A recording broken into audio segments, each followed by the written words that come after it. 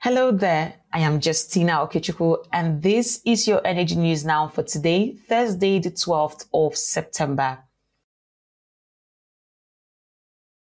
Crude oil prices edged higher in Asian trade on Thursday, fueled by concerns that Hurricane Francine could disrupt production in the world's largest crude producer, the United States. London Brent crude futures for November gained 0.6% at $71.01 per barrel, while the U.S. West Texas Intermediate crude futures rose 0.5% to $67.63 per barrel. The rise in oil prices comes after a significant increase of over 2% in the previous session, as offshore platforms in the U.S. Gulf of Mexico were shut down and refinery operations in the southern Louisiana coast were impacted by the hurricane's landfall on Wednesday.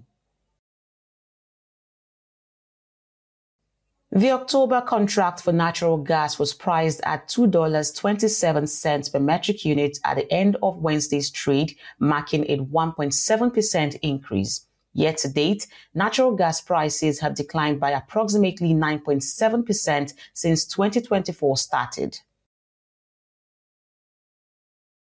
The Nigerian Upstream Petroleum Regulatory Commission has denied a media report that the agency has approved the $1.3 billion onshore asset sale by Shell International to Renaissance, a consortium of Nigerian and international energy companies. The NUPRC asked the public to disregard the media report. Uganda is looking to issue new oil and gas exploration licenses in the 2025-2026 fiscal year. The country's finance minister, Matia Kasaija, says the licenses would boost production volumes, encourage investments in the sector, and drive economic growth for the next financial year. Uganda plans to start commercial production of oil in 2025 from existing fields in the Albertine Graben Basin. The Republic of Turkey is considering an offer from Libya to conduct offshore energy exploration. That's according to Turkish Energy Minister Alparslan Bayraktar, who also noted his country's interest in gas fields off Egypt and announced plans to send the Oruk Reis exploration vessel to Somalia by October for seismic work as part of a hydrocarbon cooperation deal between the two countries. The London Stock Exchange listed company Energean has reported a rise in its first half profit with Israel contributing over 70% of the total output. The company's production rose by 38% to 146,000 barrels of oil equivalent per day, resulting in a 27% rise in profit after tax to $89 million for the period. Energean says it is focused on expanding in Africa, Europe, and the Middle East, prioritizing regions with strong policy support for gas.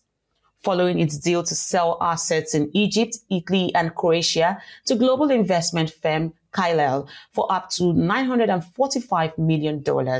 Energean expects to issue a special dividend of up to $200 million by the end of the year.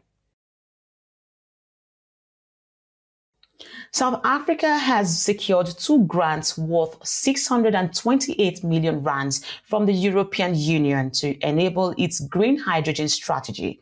The first grant totaling 490 million rand is expected to unlock 10 billion rand in investments across the green hydrogen value chain, including storage and downstream industries. A second grant of 138 million rand will assist state-owned Transnet in its green transformation, allowing the company to achieve its net zero emissions target by 2040. Delegates at the S&P Global APPEC conference in Singapore have highlighted the slow pace of the energy transition. According to the officials, fossil fuels still accounts for between 84 to 85% of global energy consumption, a figure that has remained unchanged for 30 years. The officials stated that unrealistic targets and lack of resources were major hurdles slowing down the energy transition and that countries need to be allowed to move at their own pace. In the US, the Energy Information Administration reported that domestic commercial crude inventories climbed by 800,000 barrels for the week ended September 6, following three consecutive weeks of declines. At current levels, crude inventories are about 4% below the five year average for this time of the year. The EIA report shows weekly supply increases of 2.3 million barrels each for gasoline and distillate inventories.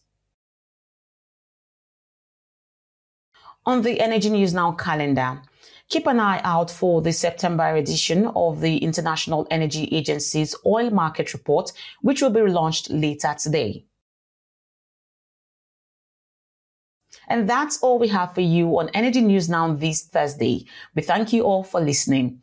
Remember to visit our website at frontierafricareports.com to listen to all the previous editions of the podcast. You can also follow us on YouTube and all our social media platforms. I am Justina Okechukwu. Do have an amazing day.